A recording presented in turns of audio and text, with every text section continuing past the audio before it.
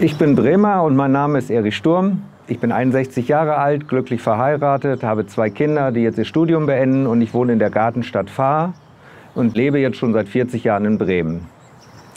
Ich bin gelernter Krankenpfleger, habe auch lange in dem Beruf gearbeitet, habe dann aber noch auf dem zweiten Bildungsweg mein Abitur nachgeholt und auch ein Studium abgeschlossen und bin jetzt seit 20 Jahren selbstständig in der IT-Branche, allerdings auch im Gesundheitswesen.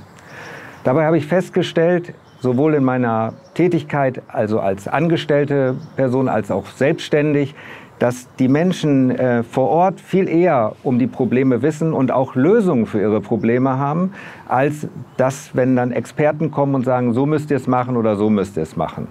Und äh, das ist auch einer der Gründe, warum ich mich in der Politik engagiere und warum ich möchte, dass äh, die Menschen ihre Expertise, ihr Wissen, ihr, ihr Know-how einbringen können in die Politik, ohne dass sie unbedingt Politik machen müssen. Das wollen wir auch über die direkte Demokratie erreichen. Und ähm, ich mache jetzt seit, ach, ich bin schon lange an Politik interessiert und bin seit 16 Jahren ähm, parteipolitisch unterwegs, zwei Jahre jetzt für die Basis. Und ich bin eigentlich Politiker aus Notwehr geworden. Ich habe mich immer geärgert, dass meine Themen und das, was mich interessiert, nicht vertreten worden ist und dass anscheinend Lobbyisteneinflüsse größer sind als das, was von den Menschen vor Ort kommt.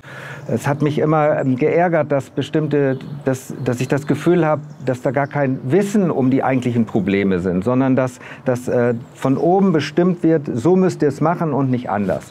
Das kann man in ganz vielen Bereichen erleben und ich bin fest davon überzeugt, dass viele politische Entscheidungen anders gefallen worden wären, wenn die Bürger hätten mit abstimmen können, beziehungsweise wenn allein schon es gereicht hätte, dass sie ihre Expertise, ihr Wissen, ihr Know-how mit eingegeben hätten.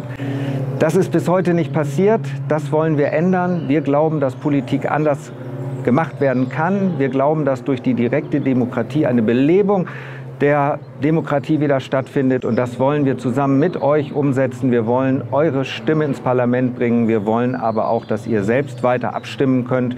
Dafür setzen wir uns ein, dafür treten wir an, dafür haben wir unser Herzblut. Und ähm, ich hoffe, dass ihr seht, was für eine Chance da drin ist.